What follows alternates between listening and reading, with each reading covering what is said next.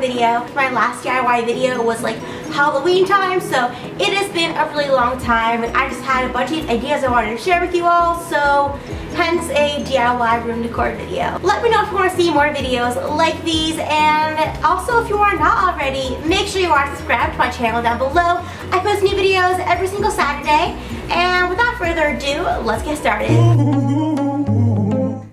First DIY we're making is this really decorative butterfly wall art. So for this, you're going to need some plastic butterflies. I got a ton of these on Amazon for like maybe a total of $3. I'll link them down below. And you're also going to need some spray paint of your choice. I chose this bronzy metallic color. So I just went outside and I laid the butterflies flat on a piece of cardboard and then I went ahead and spray painted them on either side. Since it had to do both sides, it took a little bit of time, but overall the process was pretty easy. Perfect,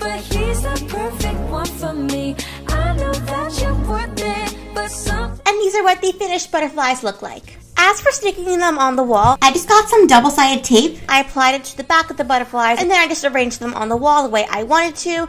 I decided to do it just like super randomly and kind of just have them sprawled out on my back wall of my room. But you could also do some kind of design that would also look pretty cool. And this is what the finished product looks like. I think this is a great way to decorate a very plain wall. As you can see, my wall was just plain white. And since I have a pretty short headboard, it was kind of boring. So I really do think adding these butterflies really spruced the whole thing up and it made it look a lot more interesting. Plus, it was super easy to do and only cost me a few dollars.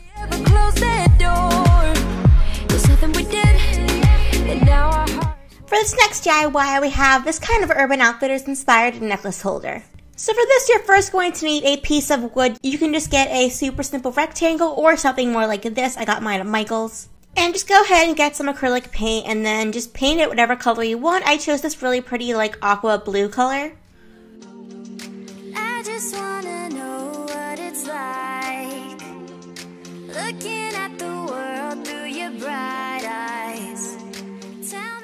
You're going to need some corks. I actually got these at Michael's craft store, but your parents might have some old ones laying around, so go ahead and ask them if they have any before going out to buy them. But anyway, I then just took some E6000 glue, which is basically just like industrial strength glue, and I just used that to glue the corks onto the piece of wood in a straight line. And once the glue was completely dry after about 12 hours, I just went ahead and held my necklaces on it, and that's pretty much it.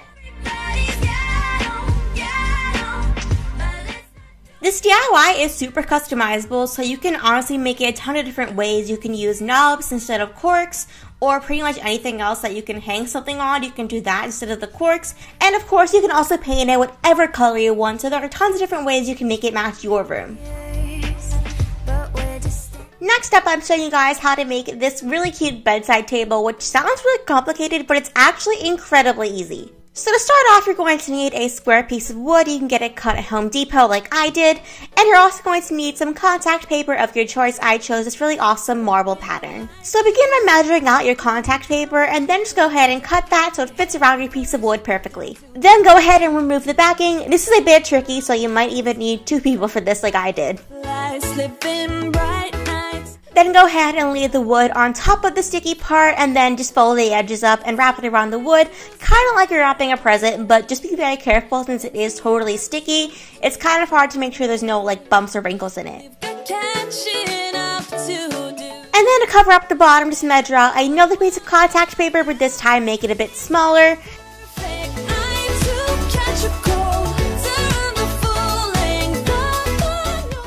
Just lay the contact paper down flatly on the back of the wood. And once you go ahead and flip over the piece of wood, you won't be able to see any imperfections or seams in the contact paper. Next up, we're going to need some type of large wire bin. I got this one at Target. And just go ahead and put that on top of your piece of wood on the bottom. And then I recommend using some type of Sharpie or pen to trace around the bin so you know exactly where you need to glue. And as for glue, I recommend using E6000 glue. Like I said before, it's industrial strength. And it's probably the best way to do this since you are making a table, you're going to need it to be pretty sturdy. Once you've applied the glue, go ahead and put the bin on top. I recommend putting the open side downward, so that's the part that's going to be on the floor. Let that dry for about a day, and you are done with your table. I think this turned out so cute, and it totally looks like something you could buy in a store, except you made it yourself, which is really cool to say. Like, I made a table. That's pretty cool. So, well, yeah, that's how you can make your very own bedside table. Next up, we have this super cool makeup caddy, which I guess is more of an organization thing rather than a DIY, but it is super helpful to have. So to make this, you're going to need a rolling cart as well as some fun letter stickers. And then go ahead and use the letters to label each tier. So for the top tier, I labeled it skin. For the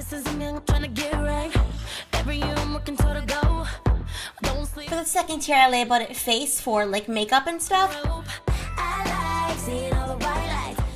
And for the bottom tier, I labeled hair. And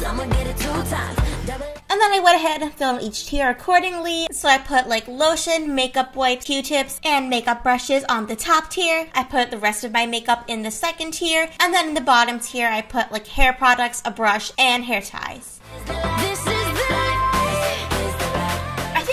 Of this is that you can pretty much roll this around wherever you want to do your makeup, whether it's in your bathroom, on the floor, or just like at a desk in front of a mirror. Whatever you want to do, you can just roll this over there and do your makeup there and get ready there. And it's super convenient and easy. Hope you all enjoyed that video. If you are not already, make sure you are subscribed to my channel down below. I post new videos every single Saturday. I also have Instagram, a Twitter, and a Snapchat, so go ahead and follow me on all of those. Also, I will be attending Live Orlando this year, as well as BeautyCon New York. So if you happen to live near Orlando, Florida, or Brooklyn, New York, I will be attending BeautyCon and Playlist Live there. So if you want to meet me, buy some tickets. So yeah, I will see you guys next Saturday with a new video. Bye!